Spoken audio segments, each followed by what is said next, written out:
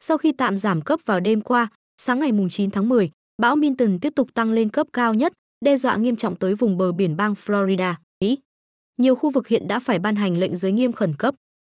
Sau khi tạm suy yếu, bão Milton đã bất ngờ mạnh trở lại và đạt cấp 5 theo thang bão Saffir-Simpson vào hôm nay.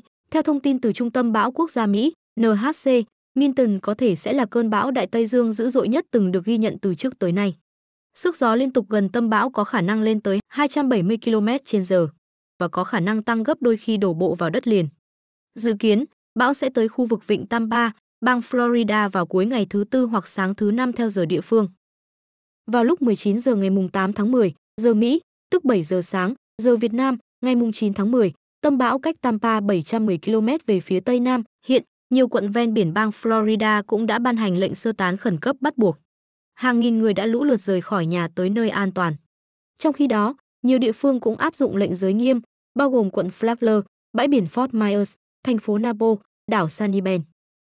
Tổng thống Mỹ cũng tuyên bố hoãn chuyến công du nước ngoài để giám sát công tác ứng phó bão, kêu gọi những người có lệnh sơ tán phải rời đi ngay lập tức và khẳng định đây là vấn đề sống còn.